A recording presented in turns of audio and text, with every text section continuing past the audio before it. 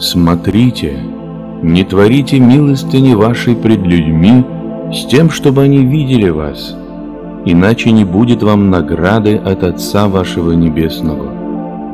Итак, когда творишь милостыню, не труби перед собою, как делают лицемеры в синагогах и на улицах, чтобы прославляли их люди. Истинно говорю вам, они уже получают награду свою. У тебя же, когда творишь милостыню, пусть левая рука твоя не знает, что делает правая.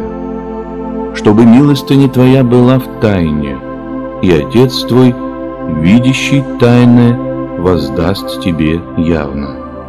И когда молишься, не будь как лицемеры, которые любят в синагогах и на углах улиц, останавливаясь молиться, чтобы показаться перед людьми. Истинно говорю вам, что они уже получают награду свою. Ты же, когда молишься, войди в комнату твою и, затворив дверь твою, помолись Отцу твоему, который в тайне, и Отец твой, видящий тайное, воздаст тебе явно.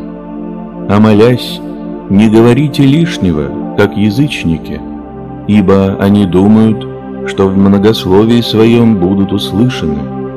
Не уподобляйтесь им, ибо знает Отец ваш, в чем вы имеете нужду прежде вашего прошения у Него. Молитесь же так. Отче наш, сущий на небесах, да светится имя Твое, да приидет царствие Твое, да будет воля Твоя и на земле, как на небе. Хлеб наш насущный дай нам на сей день, и прости нам долги наши, как и мы прощаем должникам нашим.